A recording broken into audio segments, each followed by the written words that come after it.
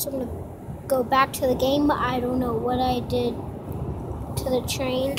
And you have exceed the speed limit. Well, I don't. e- Hey, I don't even have how. How have I exceed the speed limit? I'm not moving at all. That's like so. And plus, how do I move?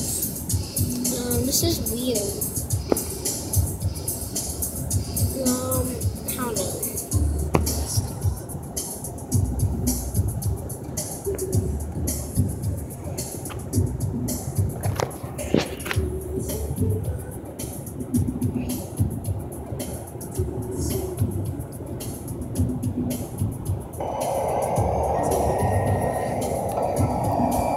Hey, hey, hey, hey, hey!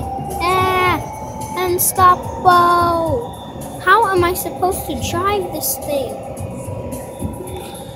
Um, start ringing the bell.